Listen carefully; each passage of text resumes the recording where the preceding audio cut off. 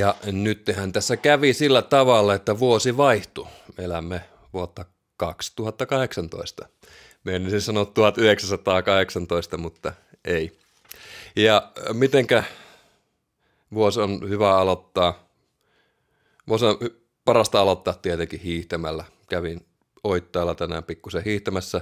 Ja oli muutama muukin keksinyt tämän saman asian, että lähdetäänpä uuden vuoden päivänä hiihtämään. Sehän oli satoja ihmisiä. Okei, ja toinen hyvä tapa aloittaa uusi vuosi on tietysti sekä video että myös podcasti. Ja nytten mä yritän tehdä myös tämän podcastin tässä samalla. Mä yritän tehdä molemmat. Mä yritän vetää kerralla purkkiin. Katsotaan, mitä tästä tulee. Uh, ympyrätalon kulmilla ollaan. Uh, todellisuudessa emme ole ympyrätalon kulmilla, vaan me ollaan espoolaisessa lähiössä. Podcasteja on tullut neljä, ja ne tuli kaikki lähinnä viime keväänä, keväällä 2017, eikä sitten rima nousi vähän korkealle, ja niitä ei sitten sen jälkeen tullut. Mutta videoita on tullut. Mutta okei, uh, nyt yritetään jatkaa. Ehkä sitä rimaa pitää vähän saada alas. Pääasia, että tehdään näitä asioita. Pääasia, että tulee podcasteja ja aiheet on edelleen siinä oppimisessa ja luovuudessa, mistä me nämä sitten myöhemmät, myöhemmät videotkin on sitten tulleet. Ja nyt ne tehdään molempia yhtä aikaa. Voi valita sitten, että kuunteleeko tätä SoundCloudista, YouTubesta vai tilako podcastin iTunesiin tai johonkin muuhun tämmöiseen podcast-ohjelmaan. Hei, miksi mä teen, miksi mä teen ylipäätänsä tämmöisiä asioita? Uh, mä pyrin elämässä semmoiseen flow-elämäntapaan. Mä oon itse kehitellyt tämän termin flow-elämäntapa. Me tullaan palaamaan monta kertaa tähän Mihai Mihai Flow-kirjan vuodelta 1990. Uh, mutta nytten hyvin lyhyesti – ideana mulla mä raadan raskasta päivää tehtaalla, niin mun pitää saada myös semmoinen tietty tasapaino raskaaseen raatamiseen, työn orjana olemisen, en mä ole orja. Mutta kuitenkin, ää, ja tämmöiseen flow-elämäntapaan kuuluu, että myös tämä vapaa-aika on jollain tavalla antosaa, jollain tavalla palkitsevaa. Mutta uh, se pitää olla, siihen pitää myös nähdä vaivaa. Se ei voi olla ihan pelkästään niin kuin somessa surffaamista, telkkarin katselua.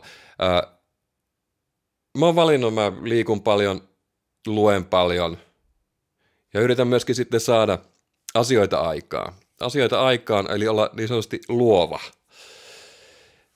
Laitoin lainausmerkit tonne, jotka kuuntelee tätä pelkältä nauhoitteelta.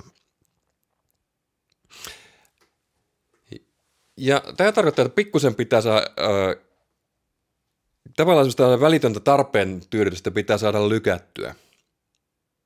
Pystyä lykkäämään ja saatava asioita aikaan.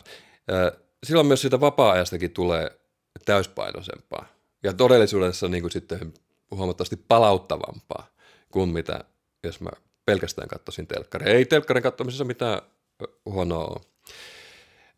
Toisaalta myös sitten haluan tämmöiseen syventyä tämmöiseen syvään työskentelyyn. Tässä on pakko olla aika läsnä. Jos mä haluan jotain asiaa, jotain substanssia saada näihin podcasteihin, mun on keskityttävä siihen lukemiseen ja pikkusen ehkä mietittävä, mitä mä puhun. Mä aion vähentää somen käyttöä nyt 2018 vuonna. En mä anna säästä mitään uuden vuoden lupauksia. Uuden vuoden lupaukset tuskin pitää, mutta – Sanotaanko niin, että mä yritän lisätä tämmöisen Deep Work, Cal Newport-nimisen kirjailijan lanseeraama tervi osuutta elämässäni. Okei, millä tavalla jatketaan podcastia?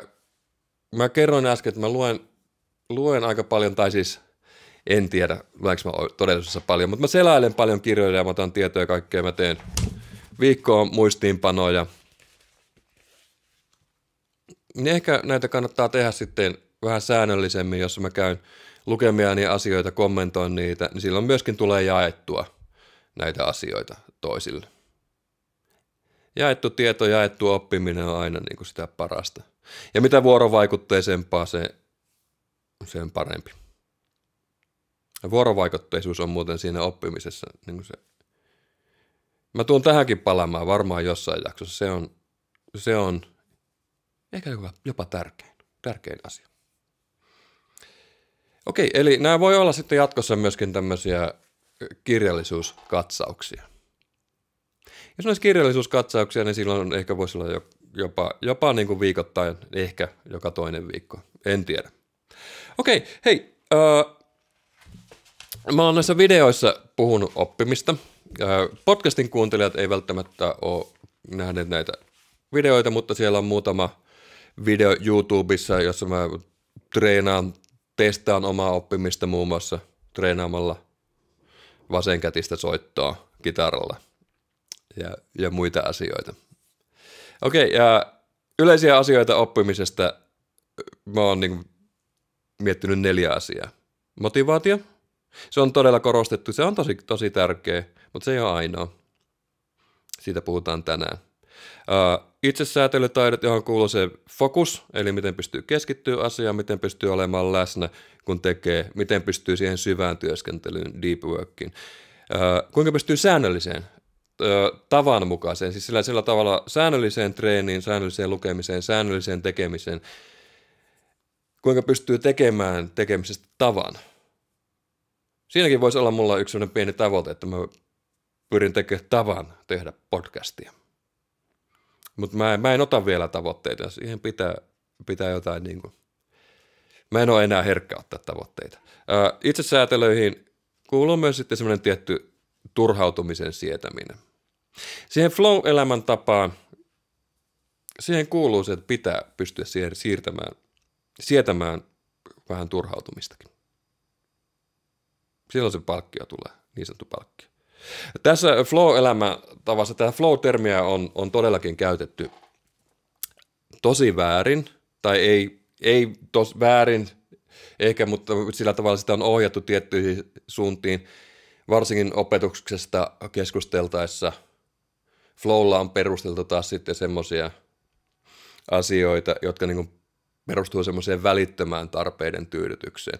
Mutta näinhän se ei täälläkään ole. Mutta tähän Flow-kirjaan palataan tosiaan, tosiaan myöhemmin ja myöskin tähän opetusmaailmaan ehkä. Siitä riittää kyllä sanomista. Okei, motivaatio, itsesäätelytaidot, joihin kuuluu fokus, kykenevyys säännöllisyyteen, tavanmukaisuuteen, kyky myöskin sietää tiettyä turhautumista. Aina saattaa tulla tiettyjä esteitä. Ja tänään puhutaan vähän siitä, miten niitä esteitä voidaan ylittää ja saada lisättyä sitä motivaatiota.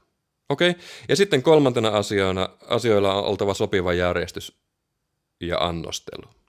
Kaikkea ei voi saa kerralla. Sopiva järjestys pitää olla sopivan haastavaa ja sopivan määrä kerrallaan. Ja, ja tietysti, että minkälainen on, on oppijan kehomielikikonaisuus. Neljäs, kehomielikikonaisuus. Yksi, motivaatio. Kaksi, itsesäätelytaidot. Kolme, asioiden sopiva järjestely ja annostelu ja neljä kehomieli kokonaisuus.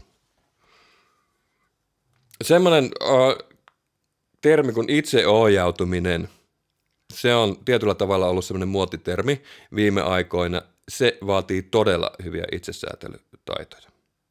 Okei, uh, nytten aikaa on jo mennyt yhdeksän minuuttia. Voisi pikkuhiljaa siirtyä siihen asiaan. Uh, mä oon miettinyt, mä oon puhunut tämmöistä kirjaprojektista, jonka työnimi on Kympin tytön strategia. Tämä tulee semmoisista ihmisistä, jotka oppii todella nopeasti mitä tahansa asioita ja yleensä vielä todella hyvin. Okei, on olemassa toki lahjakkaita ihmisiä, mutta se ei ole koko toto, to kokonaisuus on olemassa sellaisia ihmisiä, jotka oppii uusia asioita tosi nopeasti, löytää mielenkiinnon jopa tosi vieraistakin asioista, niin näillä on yksi, yksi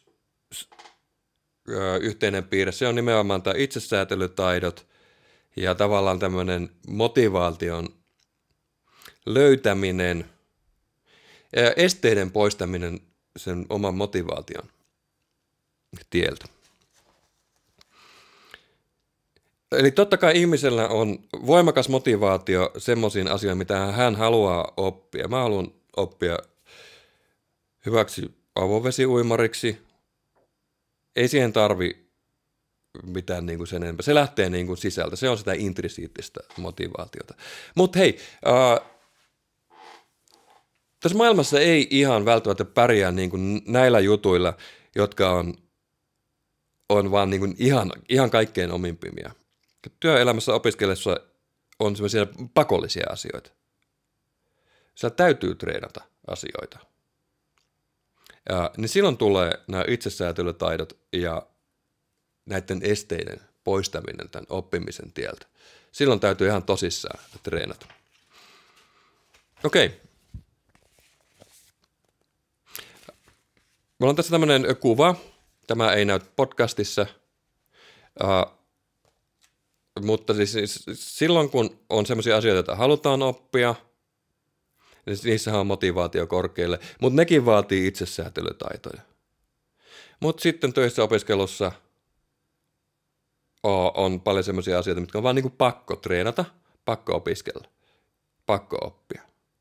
Silloin nämä itsesäätelytaidot, kerrotaanpa ne vielä, fokus, säännöllinen treeni, turhautumisen sieto, esteiden poisto oppimisen tieltä nousee tosi tärkeäksi. Tavallaan myöskin sen, sen oman motivaation. Oman motivaation kohottaminen. Okei, tässä, tällä on myöskin sitten ö, vaikutuksessa tämmöiseen oppimisen nopeuteen. Miten sitä muuten voi mitata siitä, voisi vois tuota, jonkinlaiset mittaritkin kehitellä. Okei, äh, mitä korkeammat itsesäätelytaidot on ja mitä enemmän saadaan asioita aikaiseksi, sitä nopeammin sitä tulosta tulee. Mitä se on semmoinen turhautuminen? Äh, turhautuminen tämmöisessä oppimisasiassa, niin kuin muussakin, on tietysti sitä vastustamista. Se on vastustamista, sen vastustamista, mikä nyt on. Siellä on paljon oppittuja, opeteltuja asenteita – ja äh, tärkeintä tässä turhautumisen käsittelyssä on sen asian tiedostaminen. Mitkä on ne henki, tämmöiset niin opitut asenteet, omat hen, äh, henkilökohtaiset esteet. Mä oon kirjoittanut tänne tämmöisen muistinpanon kympin tytöt, tämmöinen hyvin aliarvostettu tavallaan ihmisryhmä, vaikka niin kuin todella hyvin menestyneitä monet pystyy oppimaan mitä vaan, koska he eivät luo tai he pystyy poistamaan näitä henkisiä, psyykkisiä esteitä oma oppimisensa tieltä, oman motivoitumisensa tieltä. Ja, ja tämä oma motivaation lisääminen, se tapahtuu nimenomaan näillä itsesäätelytaidoilla. Okei, äh, näissä motivaatioasioissa on ollut paljon puhetta – ulkoisista motivaatiotekijöistä, raha, hyvät arvosanat, no ihan ok, no tosi hyviä. Uh, ei voi sanoa sillä tavalla, että nämä tuota, sisäiset motivaatiot olisi parempia. Mutta se pointti on siinä, että saadaan kasvatettua sitä omaa sisäistä motivaatiota myöskin näiden ulkoisten asioiden edessä. Ulkoiset motivaatiot, motivaatiot, motivaattorit, ne on ihan hyviä asioita. Niitä pitää ihmisellä olla ja niitä tulee ihmiselle eteen.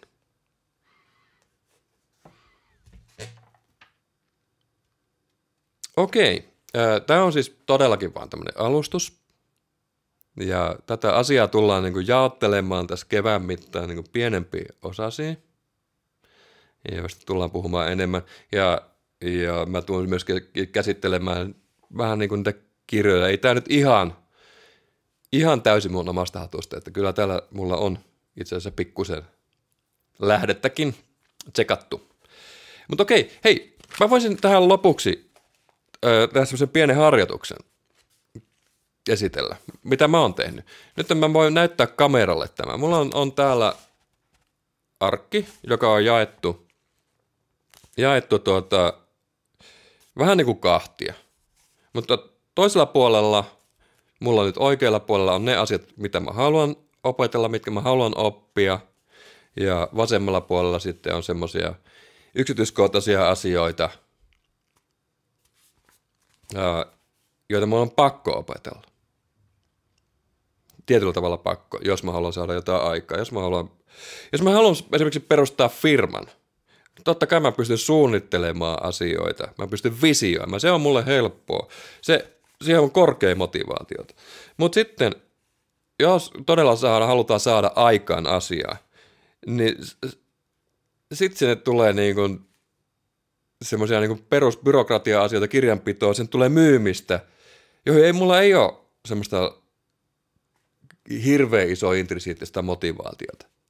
Tässä tulee heti semmoinen tilanne, että jos haluaa asioita maaliin, mun pitää saada motivaatiota lisää sinne näihin asioihin, joita pitää, täytyy opetella. Silloin pitää niin kuin miettiä niitä asioiden etuja, olla järkevä. Kaiva se pieni motivaatio esiin. Hei, mutta